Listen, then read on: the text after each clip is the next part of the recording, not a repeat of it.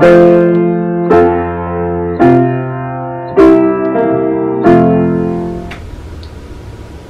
morning. I'm Reverend Rosemary Dawson, interim minister of the Athol Congregational Church. Welcome to Worship Online. Have a few announcements for you this morning. I want to remind you that if you would like to make a prayer request for this online service, you may go to our website, our Facebook page, or call the office with your joy or concern. Our next takeout community meal will be June 5th. We'll be serving kebabs, seasoned rice, peas, and peach cobbler. And please call the office by June 2nd to make a reservation. It has been suggested to me that we have an online Bible study for the next six weeks or so. If any of you are interested in participating, please call or email me. Also, our church leadership is beginning the process of considering when and how we might reopen the church. We are in the early stages of this process and we are gathering information and guidance from state and local authorities, our denominational leadership, and others who have important guidelines for us to consider. The planning, doing, and reopening is a complicated task with many issues needing to be resolved. We thank you for your patience and your understanding. Today is our annual Children's Sunday. I want to say thank you to all those who have worked with our children on, in Sunday school this year. Your care and work and love are a true blessing to the young people and to us older folks too. And I want to thank all the young folks who have so gladly added their voices to our Sunday's video worship. And we will begin our service with a special public service announcement that Harper has created for us. So let us enter into worship together. The peace of Christ be with you all.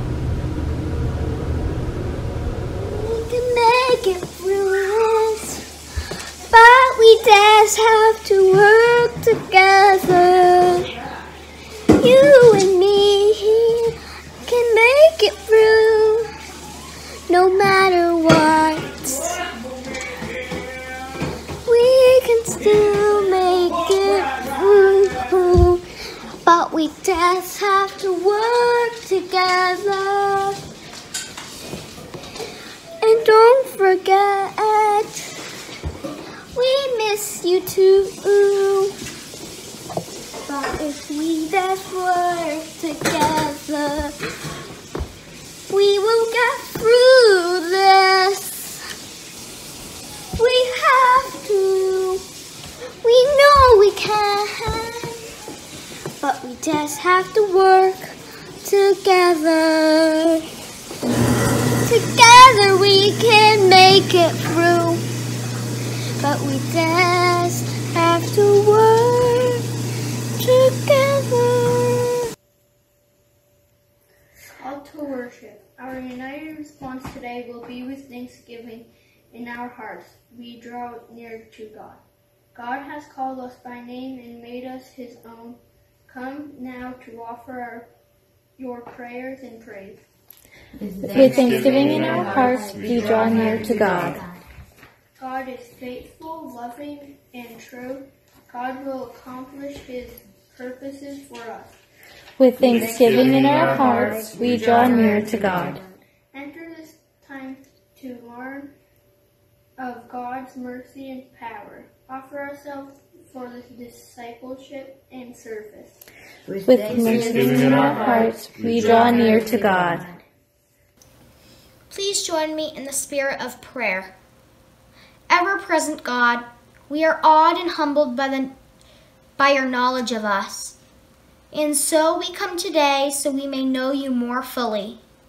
We want to live as your beloved children and as your covenant partners. Assure us in these moments that you hear our prayers, even as we listen for your words of truth for us. Fill our hearts and our minds with your sure hope so that we may respond to your call and live according to the way of Christ. May our encounter with you, with you lead us to inspired worship and faithful service so that all the world may know your goodness and grace. We ask this in the, in the name of the one who taught us to pray. Our Father, who art in heaven, hallowed be thy name. Thy kingdom come, thy will be done, on earth as it is in heaven.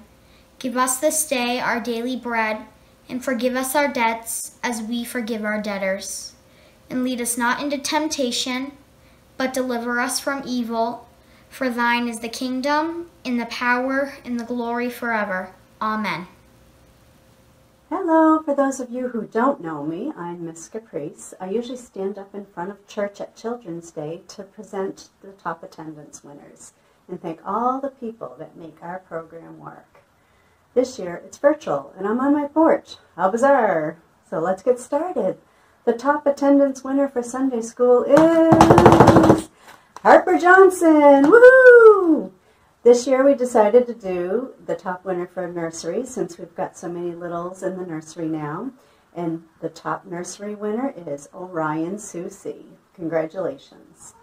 This year's top attendance winner for youth group is Adelia Sampagnaro. Good job, everybody. Thanks to all the families and parents who bring their children and grandchildren to our program. We can't do this program without the kids, obviously. I'm grateful to be able to watch all those kids grow up and keep up the good work to be the best incredible you you can be. God's light shines in you, and soon we'll be able to see it in person. Next, I'd like to thank the teachers and nursery staff. The program would not work without you. We've tried it. It doesn't work. Top on my list is Jan Doody. She's a teacher, nursery volunteer, and our gathering room co-leader, and most of all, our mentor for many, many years.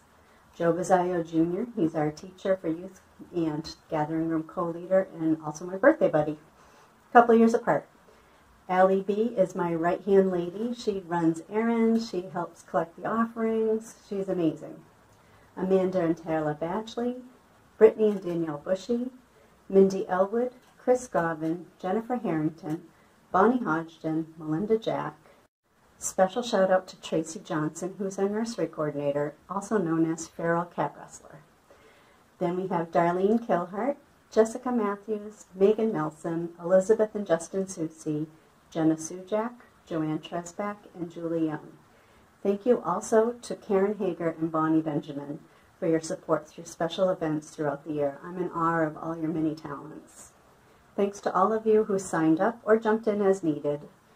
Many hands make light work, as the saying goes. You are a blessing to our church family and all the lives you touch. God bless you all. In closing, I'd like to offer a short prayer. Dear God, Thank you for blessing us with so much goodness. It's easy to be thankful when things are going great. Help us to keep the faith during our times apart and to rejoice, rejoice our times together. We will be together again once this test of faith is over. In your name, amen. Thank you, everybody. I know it's been a trial. We will get through it. Amen.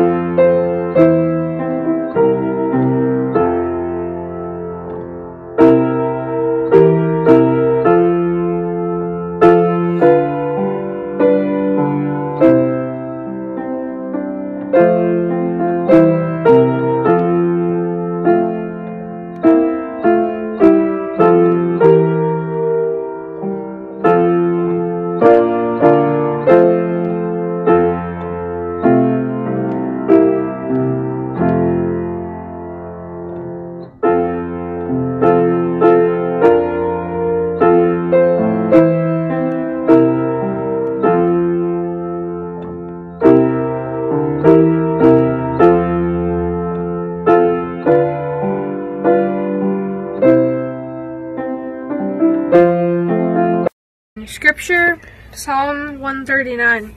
O Lord, you have searched me and know me. You know when I sit down and when I rise up. You discern my thoughts from far away. You search out my path, my lying down, and are acquainted with all my ways, even before a word is on my tongue. O Lord, you know it completely. You hem me in behind and before. You lay your hand upon me. Such knowledge is too wonderful for me. It is so high that I cannot attain it. Where can I go from your spirit? Or where can I flee from your presence? If I ascend to heaven, you are there. If I make my bed in Sheol, you are there. If I take my wings of, of the morning and settle at the farthest limits of the sea, even there your hand shall lead me, and your right hand shall hold me fast. If I say, Surely the darkness shall cover me, and the light around me become night, even the darkness is not so dark to you. The night is as bright as the day, for darkness is as light to you. For it was you who formed my inward parts. You knit me together in my mother's womb.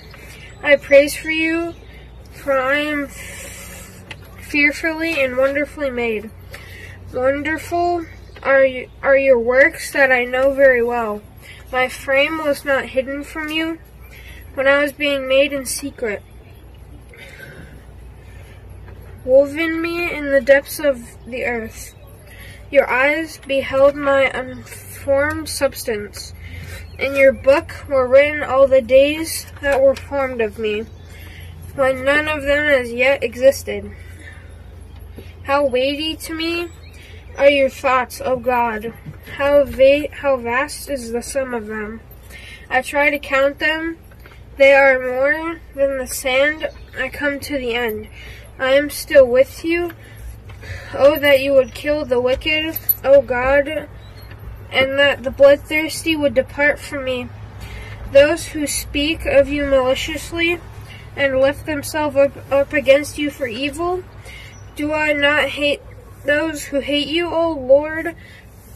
And do I not loathe these who rise up against you? I hate them with perfect hatred. I count them my enemies. Search me, O God, and know that my and know my heart. Test me and know my thoughts. See if there is any wicked way in me, and lead me in the way everlasting. Thank you. This little light of mine, I'm gonna let it shine. This little light of mine, I'm gonna let it shine. This little light of mine, I'm gonna let it shine, let it shine, let it shine, let it shine. Everywhere I go, I'm gonna let it shine. Everywhere I go, I'm gonna let it shine. Everywhere I go, I'm gonna let it shine, let it shine, let it shine, let it shine. All up in my house, I'm gonna let it shine. All up in my house, I'm gonna let it shine. All up in my house, I'm gonna let it shine, let it shine, let it shine, let it shine. Let it shine, let it shine, let it shine. Let it shine, let it shine, let it shine. Let it shine.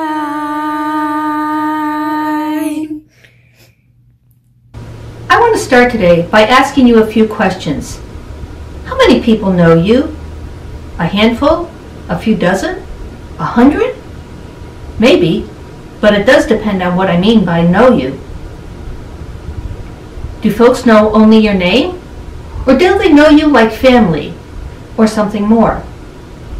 My mom always used to say to me, I know you better than you know yourself. And I have always doubted that. So who knows you, really? How long have they known you? Who knows what makes you tick and what your deepest longings are? I recently had the privilege of going to a former parishioner's funeral. Our friendship blossomed in the first few days of my interim work at her church, and we have known each other for over 20 years. I knew her well, she knew me well. And yet, Eve was the kind of person who collected friends like gems. There were folks there who knew Eve for 30, 40, 50 years and more. She was married to John for 73 years. To say they knew each other would be an understatement. Their marriage, their love, was and is incredible. Who knows you like that? Psalm 139 boldly announces, God knows you. God knows you better than John and Eve know each other. God knows me more than my dad or my mom. God knows me better than I know myself. And that's the only time that statement is true. Compounding phrase after phrase, the psalmist declares, You have searched me and known me. Sitting, standing, walking, laying down. God knows you. Your thoughts, your words, your ways, your motives and actions. God is intimately aware of you. And with such insight, the psalmist declares, Such knowledge is too high, too deep for me to grasp. Now, when you realize that God knows you fully and intimately, well, it's incredible, isn't it? Such inescapable knowledge leads the psalmist to another profound reality. God not only knows you, God is with you, always and everywhere. The psalmist asks, Where could I go where God's Spirit is not present? Is there any place where I would be out of God's sight? And the answer is, No place, not ever. Heaven or hell, the far reaches of space, the depths of the sea, east, west, north, and south, God is there with you. Even in the darkness of night, or the darkness of sorrow and trouble, God is still there, with you. Paul reminds us in Romans chapter 8, I have become absolutely convinced that neither death nor life, nor thing, neither angels nor rulers, neither things present or things to come, nor powerful forces, neither height nor depth, nor anything else in all creation will be able to separate us from the love of God in Jesus Christ. God is with us, wherever we are, however we are, in any and all situations. God is by your side for good. God is there to guide you and help you and keep you. And that too is incredible, isn't it? With God's intimate knowledge of you and God's unshakable presence with you, there's one more truth that the psalmist declares. God has plans for you. God made you. Incredible you. God formed you, created you from toenail to hair follicle. And God doesn't stop. God isn't content to just create such a wonder and then let it slide. No, God formed you for a purpose. Your days have been written out before your days began. And yes, God made you as artist or architect, doctor or chef, teacher or tinkerer. The skills and passions that shape your life and your choices have been shaped by God. But that is not the purpose of your days. The grand purpose of this grand God is, well, grand. You have been formed before creation started to live for the glory of God, as Paul said. You reveal God's glory.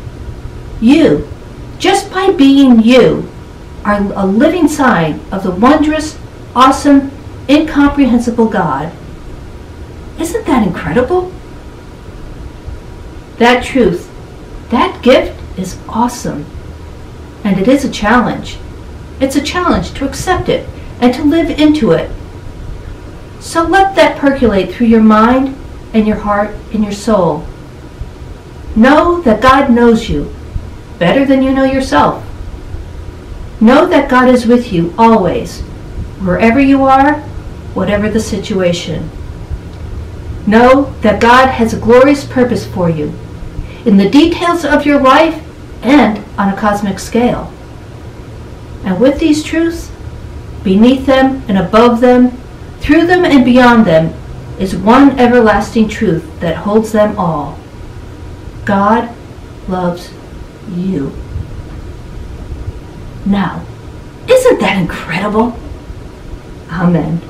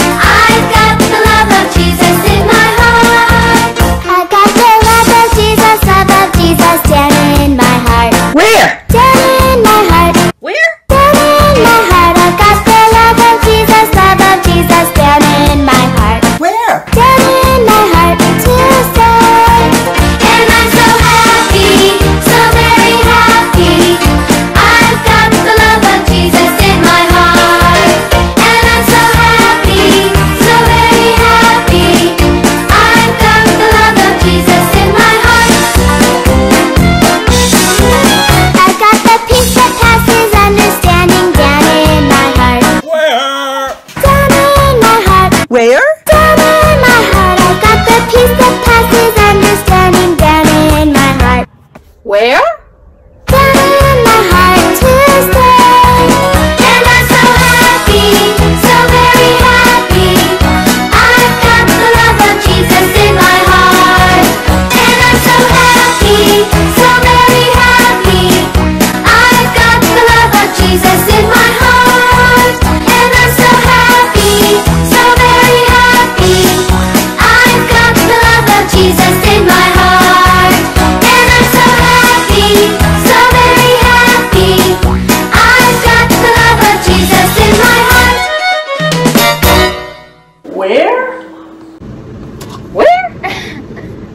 Try. Where? I know. That was good though. Ready? Where? No. Where? No. I've got the love of Jesus in my heart. Let us join together in prayer. O God, we are truly awed that you know us so fully and love us so deeply. Your presence with us is unshakable, and your care for us is inexhaustible. With confidence in your compassion and wisdom, we come now before you with our joys and our concerns. We pray for your church and for this congregation. May we as a community grow in the knowledge of you and in our relationship to you. May we grow in knowledge and love for each other. And may we grow in our relationship with all peoples so that the goodness of your reign may become known in all the world. And we pray for our world. May our leaders be given the wisdom and compassion they need in these days so that all people may gain the blessings of life. We pray for all who, are, who seek your help today. Grant your healing to the sick, your comfort to the mourning, and your aid to the needy. We especially pray for all who are dealing with the coronavirus. May all medical people and the myriad of other workers find the strength, support, and courage they need as they continue their work. May the ill and those who love them know your healing grace, and may those who are mourning know your comforting presence. We pray also for those dealing with all the other difficulties from this pandemic. May they know your faithful provision and your sustaining presence, presence in the midst of the, their challenges. We also remember Larry and the family of Jean Drury, and all our friends and members who are seeking your grace and aid as we come before you now in the quiet of our hearts.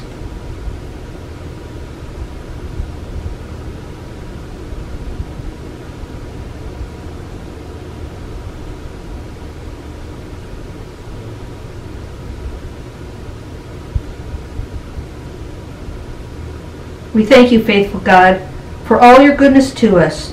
Through Jesus Christ our Lord. Amen.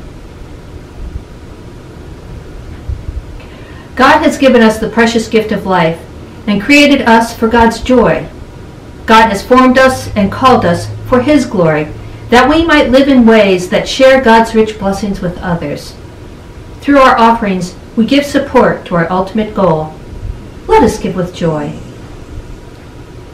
We would prefer that you send your offerings by check to the church office, but it's also possible to, for you to give through PayPal or through your bank's bill pay service, and you may go to our website for more information.